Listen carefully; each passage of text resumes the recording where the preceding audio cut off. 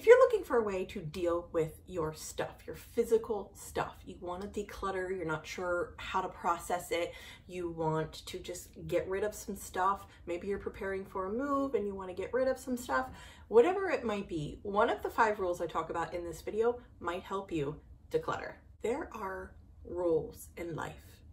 There are rules in board games, there's rules in the board game of life, there are rules in school, there's rules in your house, your mom's house.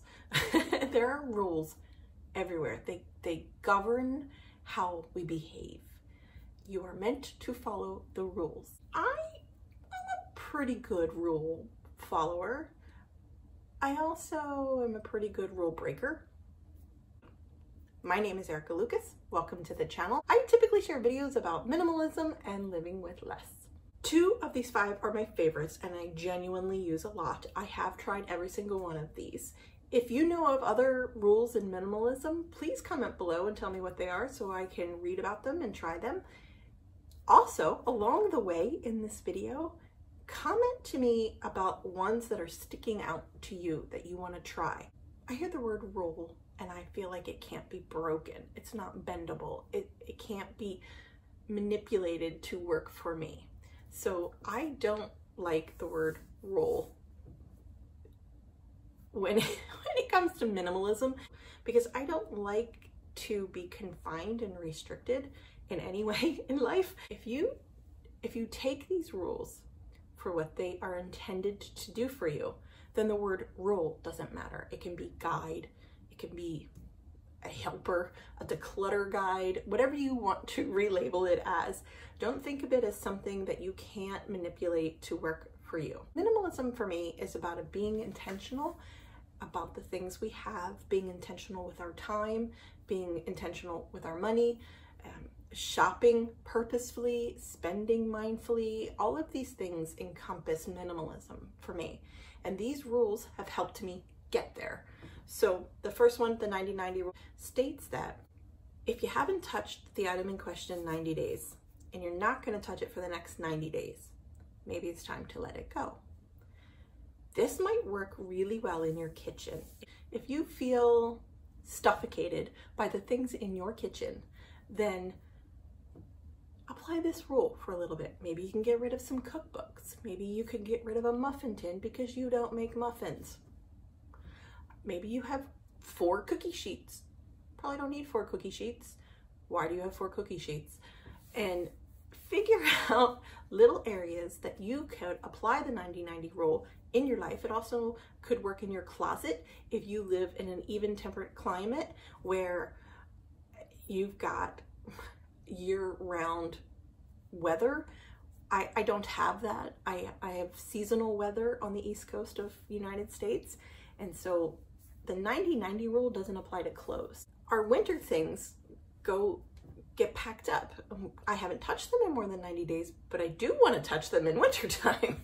I don't want to buy a whole new winter wardrobe. So the 90-90 rule doesn't necessarily apply if to seasonal or holiday items. All of our Christmas stuff, our fall stuff, our spring decor, all that stuff gets packaged seasonally and I don't apply the 90-90 rule to that.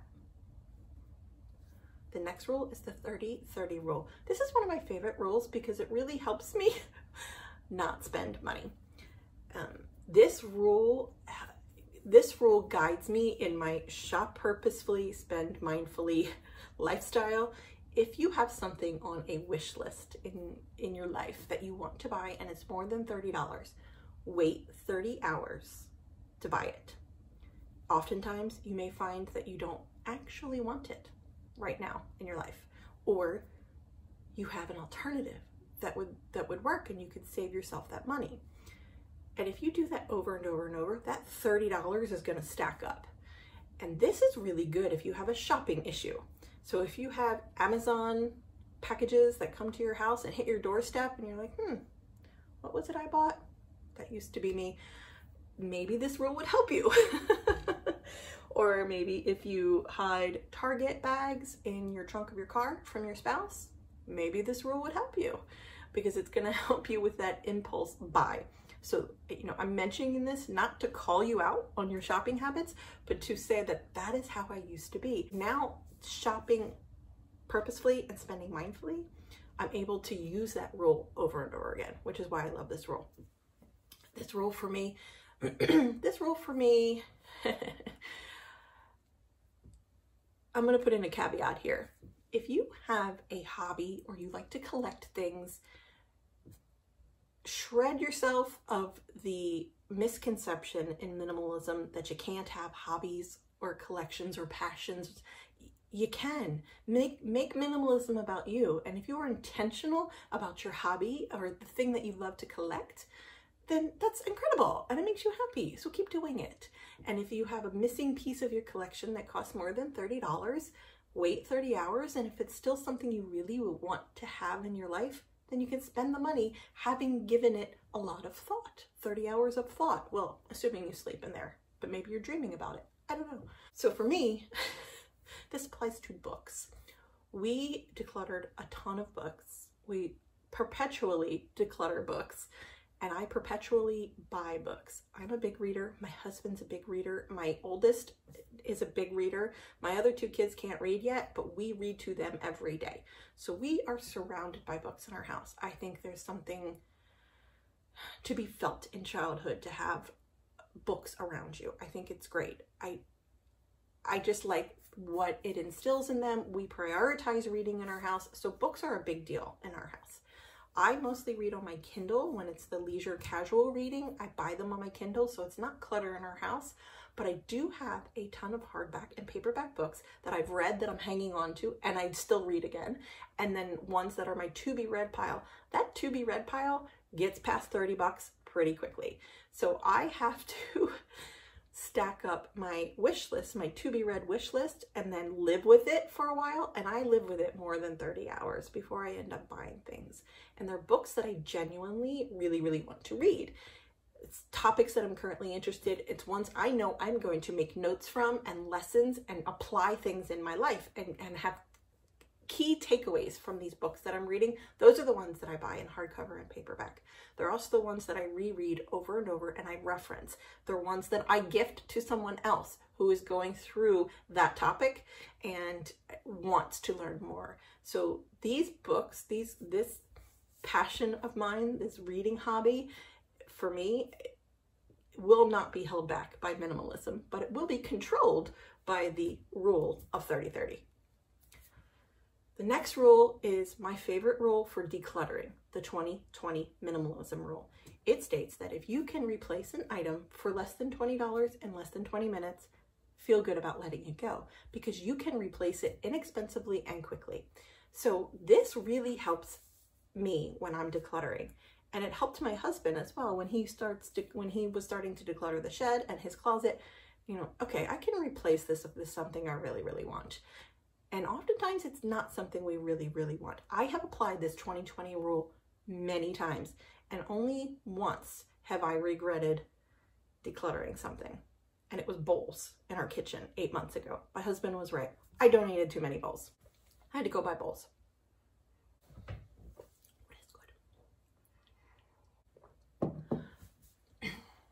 Otherwise, I've never decluttered something with this rule and lived to regret it.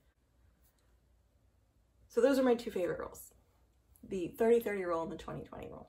The next, the fourth rule is the 10-10 minimalism rule. It takes some time to think about. This rule is kind of a beast and really calls you out. So you list your 10 most expensive things that you spent money on in the last 10 years, and you list the 10 highest value life experiences and uh, things that added the most value to you in your life. And you look at the imbalance between the two lists things you spend a ton of money on and things you didn't spend any money on but gave you the most value in your life. Time with your friends, time with your family, that kind of thing. It took me a long time to come up with my list. And it did not take me a long time to think of the 10 most expensive things we've bought in the last 10 years. Now, I don't regret those expensive purchases. I certainly give a lot of thought now to the way we spend money. So I don't have financial regret for decisions that I've made during my minimalism journey. I have financial regret and guilt about things I've spent money on before. But now that I've been living this life and I price shop. I really give things consideration. I spend money on things that we genuinely need or I really do want to have and intentionally buy. I don't have regrets. I don't have that financial guilt by using these rules, by really giving consideration to how we're spending money. The last rule is the one in, one out rule. This rule works for a lot of people. Let me know below if this rule is something that you live by. Straight up, I do not like this rule. It just doesn't work for me. And that's because I shop with intention. Now, um, I could see before how this rule would definitely help me mitigate my stuff. So if I was not living a minimalist life and I still had all my stuff, if I bought a new sweater, I would live this rule and get rid of another sweater because I wasn't, I didn't have a closet full of things I loved. Now I do. Now I have a closet full of things I love. So if I buy a sweater, it's intentional and I'm not going to get rid of another sweater just to exchange the one to one. It's just not how I need to live anymore. I can see how this rule would really help you manage the amount of things you have in your house. Thank you for watching. Here's the most recent video and the 90-90 minimalism rule video that I mentioned.